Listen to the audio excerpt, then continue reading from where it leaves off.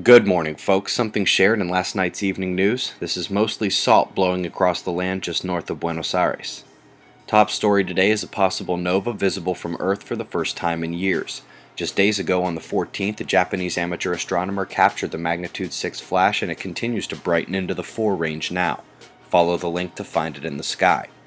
This buoy west of Sumatra is becoming a bit more concerning.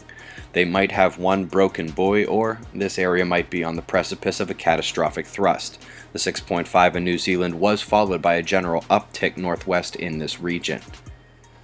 Australia eyeing strong winds across the south. It did get dicey in isolated pockets there yesterday. The low cresting Europe is not moving at a tremendous clip, expected to keep storms relatively still for the entire weekend as the convergence just isn't going to move much. Look at all that energy rushing to Canada. Expect major rain and severe weather north of the border today, while the southeast is also on continued flood watch due to the deluge from a developing Gulf low. Of course, we are still watching Erin out in the Atlantic, but it's not a terrible concern right now. Solar flares, still not making it up to M range. And the most baffling aspect of that is the delta spot entering the southwestern quadrant. The northern aspect of that sunspot group sees bipolarity confined to umbras nearly touching within the same penumbral region. That should be popping harder. Perhaps the trailing incomers can change the game, but no major moves from them yet. ACE solar wind telemetry shows little variation in high speed and around average density.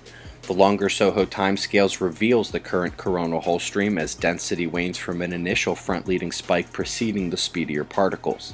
With density falling, the disturbance is fading as well and we are on the verge of an electron storm. Sun also decided to throw a fit last night. Without major flaring, she flung ejecta in every direction but ours. A major plasma filament on the northeastern limb let loose, along with two significant blasts from the backside visible via the stereo EUV I-195 images. The largest visible filament is now Earth-facing and has yet to show signs of instability. The primary magnetic connection to the Sun is now on the Earth-facing disk with 8 points of magnetic subconnectivity on the massive coronal hole now exiting center disk, and with the umbral field closing up behind it. Alas, closed or not, her solar wind stream is here and the next coronal hole is on the equator right behind her. The watch score is elevated at 7.